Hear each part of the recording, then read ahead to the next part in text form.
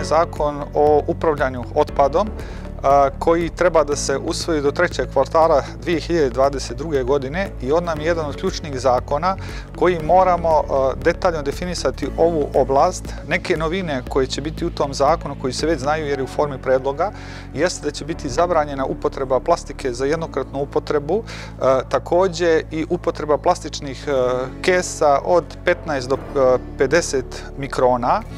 Ovo je važno zato što je plastika jedan od najvećih zagađivača životne sredine i ako mi uzmemo procjenu kako je e, to kod nas e, u Crnoj Gori, na, upravo na plastiku otpada preko 60% od ukupnog e, sadržaja u otpadu.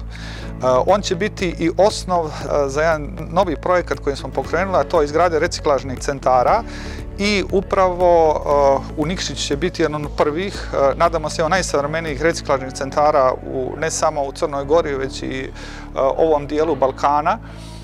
Imamo zainteresovanost jedne firme svetske koja je jedna od najrenomiranijih iz ove oblasti, to je Interseroh, koji je izrazio zainteresovanost da investira svojim sredstvima u ovu oblast i to negdje oko 15 miliona eura tako da bi riješili taj problem gorući za Nikšić i opštine koje gravitiraju u, oko Nikšića. Ono što je važno da je bi time riješili ovaj dio koji se tiče takozvanih teških direktiva iz Evropske unije.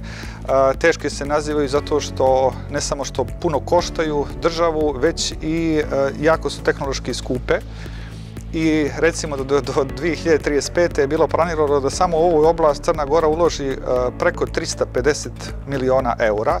Ovim vidom preko investicija bi u stvari uspjeli da e, prije dođemo do rezultata i samim tim se približimo Evropskoj uniji e, time što ćemo znatno naprijediti stanje u poglavlju 27.